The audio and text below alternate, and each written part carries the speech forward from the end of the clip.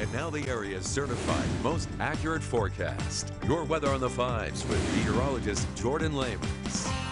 Okay, it's 545. Let's get to that full forecast now. Here's your Storm Team 5 live Cameron in, Oshkosh. You're part of our Storm Team 5 Skyview network.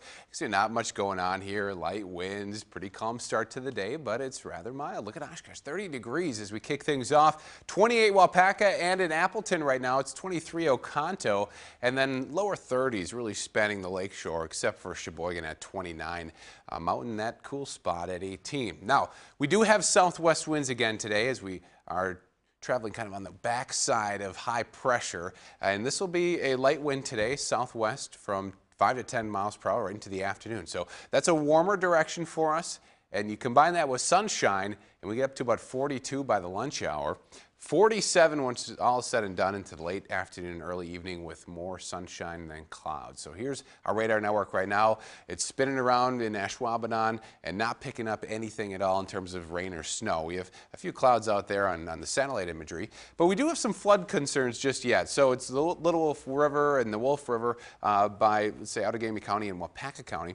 Then you get the Manitowoc River and Sheboygan River uh, by Lake Michigan, and then the Fox River near Berlin and Princeton, which are still under that flood warning because of that water level is just over flood stage. Now, where there's moderate flooding, uh, in red there, that's where the dot is. So that's the Manitowoc River and then also the Fox River. And then we have some reports of some minor flooding uh, by the Wolf River there in Waupaca County.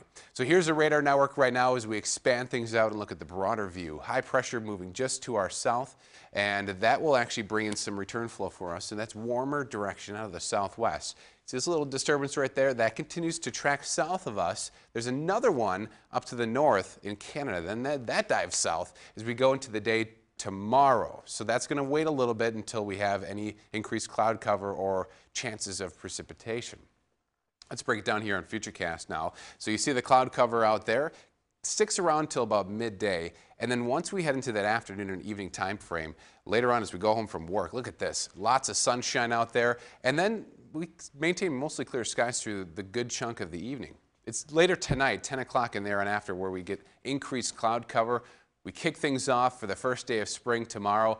Mostly cloudy skies, and with that disturbance comes a slight chance for some rain or snow. It's not going to be a total washout day, kind of a pesky chance as we roll through the day uh, tomorrow, but it looks like we'll be drying out again for Thursday. In the meantime, though, forecasted highs, mid and upper 40s, pretty common sight. We may touch a 50 degree reading if uh, we get enough sunshine in here building in for the afternoon. As far as our rain and snow chances go, Dry today. For tomorrow, we're in the low category with that slight chance of rain and snow. Thursday, Friday, Saturday looking beautiful. And then on Sunday, another chance for some showers. That will be uh, later in the game. But really not a big rain chance for us in terms of how much rain we're going to get. Now for today, a mix of clouds and sunshine and highs in the 40s. Later tonight, we go from mostly clear to mostly cloudy, and we drop into the 30s for lows.